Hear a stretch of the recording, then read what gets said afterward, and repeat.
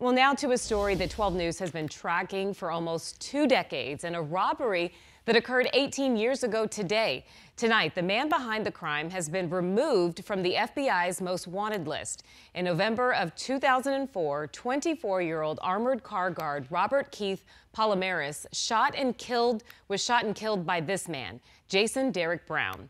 Brown made off with $56,000 and he hasn't been seen since. Now the FBI has removed him from their most wanted roster, believing the exposure wouldn't help bring Brown to justice all these years later.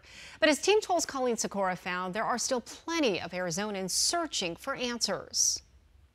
I never thought he would be a fugitive this long. It's the past. It's, it's shocking and it's horrific. That's lingered.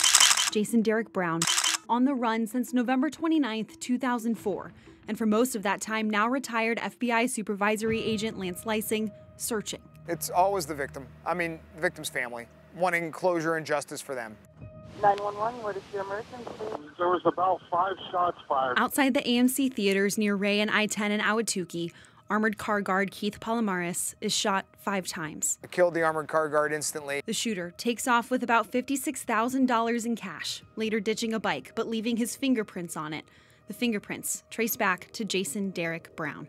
Leising says it's believed Brown came here nearly 17 years ago with a plan in mind. There was surveillance, there were items purchased. He was out training in the desert, practicing uh, his shooting. But to get to this point, while he could assassinate an innocent armored car guard during a robbery, he was also image conscious and wanted to be the good guy in the life of the party at the same time. Still to this day, I just I just can't believe that he would do something like this because he was such a kind, loving person. But it's what Jason's sister, Jamie Brown Martin, calls a dark side. Jason didn't just wake up one day like this, that he was trained as a young child from the age of eight, nine years old to be a criminal. Jamie says that training came from their father who disappeared 10 years before Jason. My dad used to try to beat the bat out of him. In the days before Brown was identified as the suspect, he came to Jamie's door and stayed for several days, never knowing what he was accused of doing. There was no indication of any sort that